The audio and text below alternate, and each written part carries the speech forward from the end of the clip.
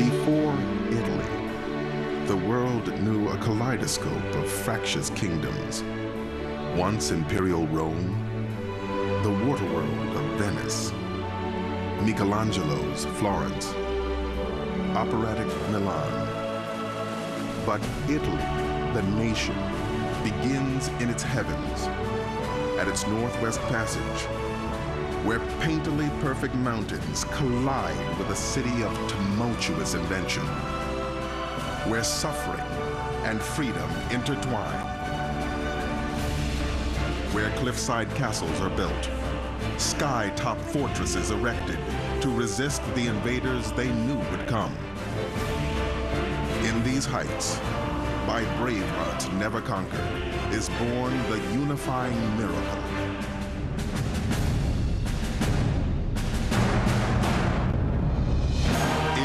Risorgimento, Resurrection, the birth of Italy. The first parliament, a new flag, long bickering cousins made one. It happens here, in the shadow of these frosted Alps, amid the capacious piazzas and endless porticos and baroque splendor of long embattled Torino.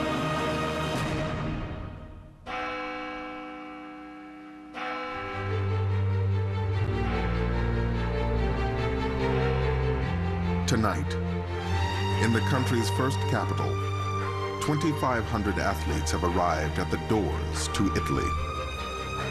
With stories from across the globe, born of a certain place, united by an indomitable passion. Like the one who left home alone to seek his destiny in an Oz called St. Petersburg.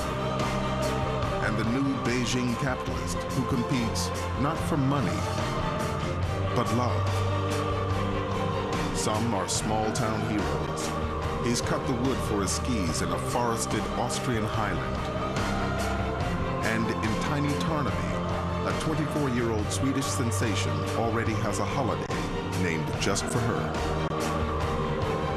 These stories end only to begin again. Chronic illness conquered by a triumphant resolve. A nation's enduring inspiration who's defied a failing body stitched together by 12 surgeons.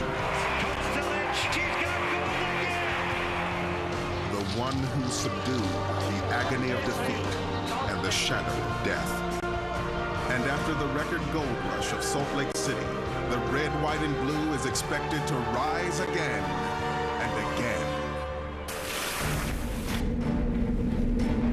the young Americans in a 21st century sport.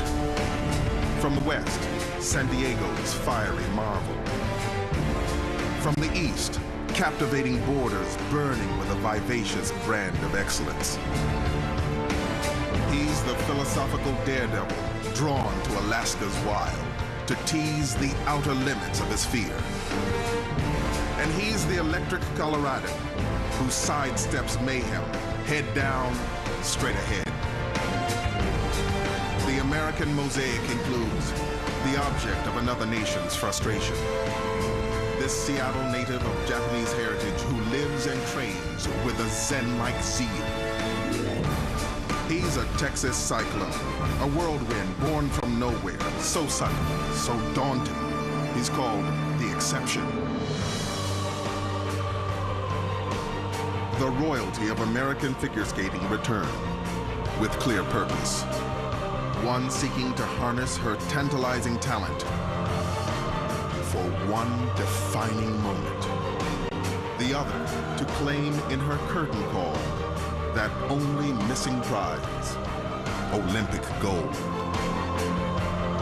For all his life, this Chicago pioneer has stretched the notion of what is possible.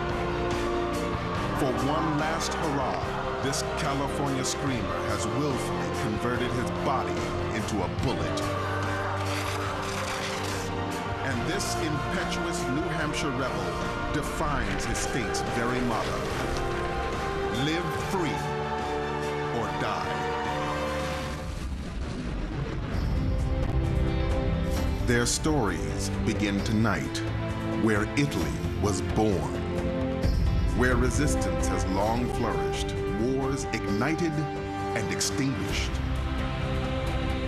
Where a kaleidoscope of kingdoms was finally merged. In a city of majesty and sanctity, where competition ignites the flames of passion. A city of succulent style and stylish speed where greatness is born of fearless visions and unconditional devotions.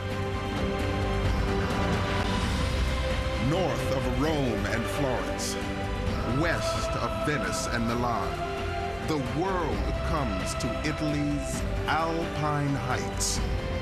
Tonight, the world comes to hear stories, old and new. The stories of Torino.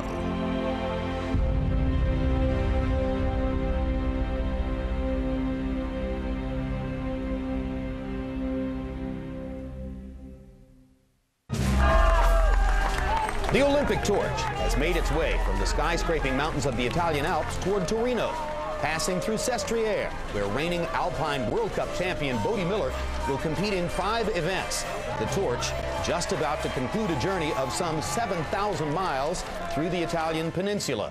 The Winter Games have come to Italy for the second time, the first since Cortina in 1956, 50 years ago. Many of you at home are familiar with this country's other famous majestic cities, but now this mountainside metropolis tucked into Italy's northwest corner is about to gain its own global profile. The torch's journey concludes tonight at the opening ceremony of the 20th Olympic Winter Games at Stadio Olimpico. Built by Benito Mussolini in 1933, this stadium underwent a $35 million facelift, just one piece of a massive revitalization of this city for these games.